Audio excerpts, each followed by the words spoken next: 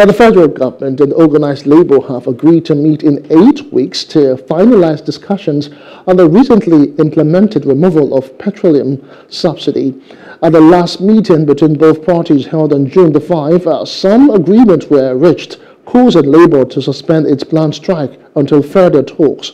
Among agreements reached was the establishment of a joint committee to review the proposal for wage increase or award and establish a framework and timeline for implementation.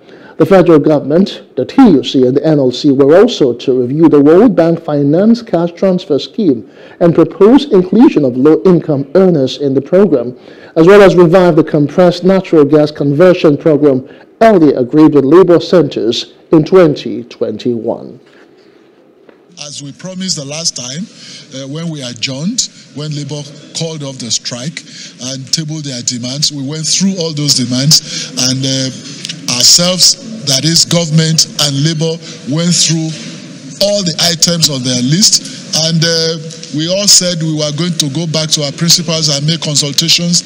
They also said they were going to go to the executives and members and make consultations so that we should reconvene and move forward. And that's what, exactly what we did.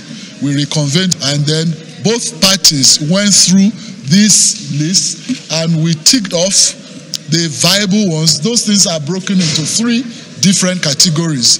The immediate, those that can be of uh, low-hanging fruit in the immediate C, then in the short run, the uh, medium term, and the long term.